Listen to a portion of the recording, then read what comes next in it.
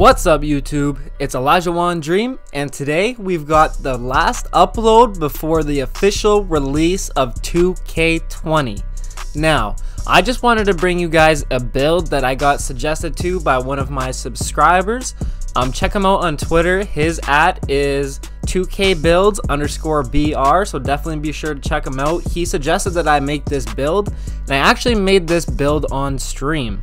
So everything that I was doing here, I was actually doing live and I was just playing around and I actually stumbled across this build and found out that I could actually really make this a pretty all around and solid build. I didn't know what kind of comparisons I would get, but the top comparison was Brandon Roy. Now I can definitely see this comparison, but it may not be exactly true to Brandon Roy. Brandon Roy was also a great shooter, but with this build, you only get a 64-3. But I honestly believe that that will be enough to be able to still shoot well enough to be able to hit consistently. I'll explain that later when I get further on in the video. You'll see why. So obviously what you got to do here, this is a slashing playmaker build or playmaking slasher build. So obviously pick that pie chart. What you can get here is 20 finishing, 6 shooting, 21 playmaking, and 9 defensive badges. That's the way I spread it out. Very, very, very even. And you get Hall of Fame playmaking and Hall of Fame finishing badges. The attributes, very, very solid. 90 shot close, 91 driving layup, 90 driving dunk. So you get all the contact dunks so you can catch crazy bodies in the park, whatever game mode you're playing. 73 mid, so you're still going to be able to hit down the middies and a little bit of moving mid, stuff like that. 64-3 as I was talking about before, but I do believe that that will be good enough for you to hit. I'll explain that why later. 83 free throw, you definitely want your free throw up on a slashing build. You are attacking the net constantly, you're always taking contact, you want your free throws up, definitely. 88 pass accuracy and 88 ball handle. So you can speed boost with this build at all times and you can get contact dunks and you are pretty fast with this. Now I picked the pie chart of uh, agility and vertical because I, I like the speed. I was almost at 90 speed, but I actually get up to a 95 vertical. And I think vertical is very, very important for slashers. And the way that I set up this build is kind of like a Russell Westbrook type build as well, and the vertical also comes into play later on. You will see what I mean, but you could also go with the max speed, agility, and then you could be absolutely insanely fast with it, but still with an 80 vertical, so you could definitely try that. You will be extremely fast with the ball. I did seem to be a little bit too slow to my liking, but the way that I built this build you definitely want the vertical because of the badges and such that I do put on. But you get the 62 interior defense, so that's not great, but that's okay for a guard. 76 perimeter D and 71 lateral quickness so you can clamp up, 75 steals so you can still block, and the 78 defensive rebound. That's what I'm talking about. The 78 defensive rebound combined with the 95 vertical, that is OP. You will get so many rebounds. The way that they determine the way you rebound is definitely through height, vertical, and then your rebounding attributes and your badges. So I actually did throw on my gold rebounding badge because I wanted to be able to take advantage of my 95 vertical and my 78 defensive rebound. Now you also see what else I combine with it. It's really cool what I do, but you will see. So I was actually in the stream here and I actually got a suggestion to go slight because you actually sli like slice through the defense a little better. I honestly didn't find much of a difference. I probably would go compact because I just like compact. You still get a little bit of that muscle and everything, so I definitely like it there. Now I was looking at it, that's six foot six, you lose too much. Six foot four, I don't like it, you're too small, so six foot five is perfect. You still get all those great attributes. Right here I go 200 pounds to get up to that 95 vertical.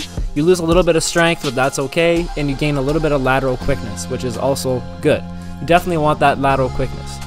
And then for my wingspan, I just go default because I don't want to mess with it too much. I don't want to lose my shot contest, and I don't want to lose any ball control, and my shooting ratings are definitely good enough. And I will definitely explain that right away here why the 64-3 will suffice and you will still be able to hit consistently. I can guarantee you that.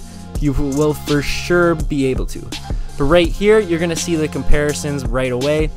Obviously, I'm picking the slashing takeover. That's going to give you a 99 driving dunk and a 99 driving layup. As long as it's still the same principles as last year, you get plus 10 to your primary attributes in your takeover, that's what you should get. So as you can see here, Brandon Roy, James Harden, Donovan Mitchell. Definitely, I would say more Donovan Mitchell than James Harden, eh, but Brandon Roy definitely is cool comparison, and he is actually in the game again this year, I believe. He definitely will be in the My Team mode, I do believe. But right here, the 64-3, this is what I believe is still going to be good. So you're going to be left open, left wide open quite a bit. You're going to have gold catch and shoot and gold hot zone hunter. So you get your hot zones around the three-point line, plus your catch and shoot. You're going to be looking at maybe close to like a 73. Maybe, but your shot percentages are going to go up. Now, last year, I had a 67 three-pointer. Now it's for the last few months, but like I worked with a 66 3, a 65 3, only with bronze catch and shoot and bronze corner specialist. I still shot 56%. That was with bronze shooting badges. Now I have three attribute ratings less, but I have gold shooting badges. You will be absolutely fine if you put these badges on and you're going to be wide open. Now the finishing badges, I went with Hall of Fame Acrobat, Hall of Fame Contact Finisher, Hall of Fame Fancy Footwork, Hall of Fame Giant Slayer, Hall of Fame Relentless. Now you could go Hall of Fame Slithery Finisher, but I don't know. I kind of like to be able to take the contact and you definitely want to be able to dunk and then the relentless kicks in and you definitely want the giant slayer because you are six foot five and you are going to be meeting a lot of big men at the rim so i think you're going to be absorbing more contact than you will be avoiding but when you do avoid the contact, that's where your fancy footwork and acrobat's going to kick in. So that's definitely going to help you out there. And you'll see later on in the clips where these badges kick in, and they are definitely really, really nice. Playmaking, Hall of Fame ankle breaker, downhill, because I got that 95 vertical, 78 rebounding, and my gold hustle rebounder badge or my gold rebound chaser badge. So I can get up there, get the rebounds, run down the court super, super fast. Now you could even go back, like I said, and put that uh, speed all the way up, up to the 91, whatever it may be.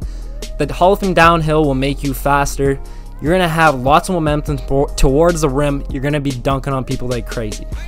So that's definitely nice. Hall of Fame Unpluckable, quick first step, all the primary playmaking badges you want.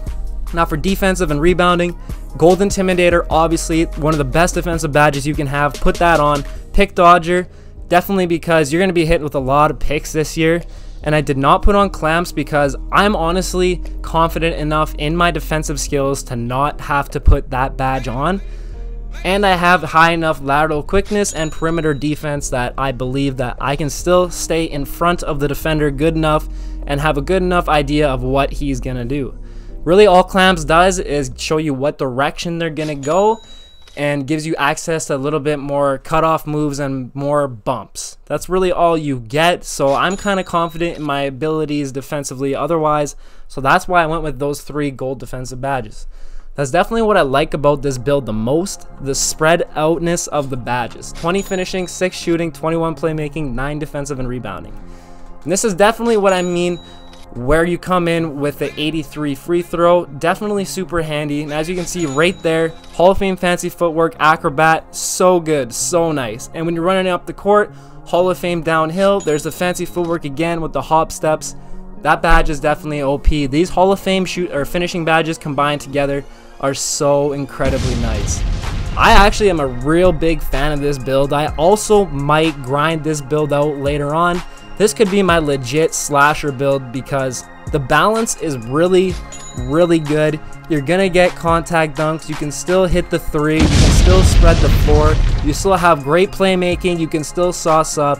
You got different takeover options. You can still get your shot creating takeover. So if you wanted your shot creating takeover, that's going to boost your three pointer as well.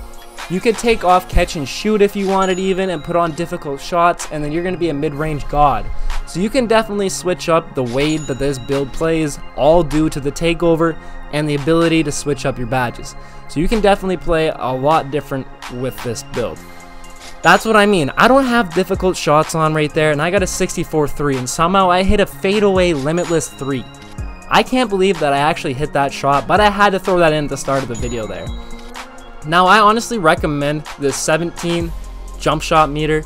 It kind of is a little bit tougher for finishing and slashing because you can't really see the meter because of everybody's feet is in the way, but you do have a great idea of when they are releasing the ball and it's pretty easy to tell. Now in the free throws, I really like it on the free throws especially because I greened so many free throws. I actually think I went 17 for 17 on my free throws or it was something like that there. Right there, my Hall of Fame ankle breaker kicking in on the spin on Curry, making him stumble a little bit or stun him a bit, taking off for the nice dunk. Now obviously you can't get the contact dunk packages in the demo yet, but once you get those on the actual game, it's going to be a lot of fun you guys. This is definitely going to be a legit slasher build. You're going to be able to do everything with it. And this is honestly like my 2K18 build. I can't even lie. This is seriously the resurrection of my 2K18 build. This is exactly what he could do, but I get better badges than I did in 2K18. I did not get any shooting badges, and I get way better finishing badges. The only Hall of Fame badge I got my 2K18 playmaking slasher was one man fast break. All I got was like goal posterizer, everything like that. So I'm super excited. This was basically my 2K18 point guard build. So I'm definitely going to try and rock with this a bit. Get some videos with it. And they said the blow bys are OP this year in 2K20. So this build will definitely be something to look at. And that's what I mean too. You can definitely change up the agility pie chart to go all speed. So you are fast, but you still get that 80 vertical. So you can switch up the badges there, but I only did get 5 rebounds this game, but I think that could be a different story online, so that's still subject to test. But I got 48 points on 17 of 29 shooting, definitely a nice stat line. You got some steals there too, you could put on the pickpocket if you want as well, but definitely check out this build guys, it's definitely a legit slasher build, and I hope you guys enjoyed the 2K20 release, we're gonna go crazy. I'm gonna be streaming tonight at 11 p.m. with the full drop, so make sure you tune in then. Peace.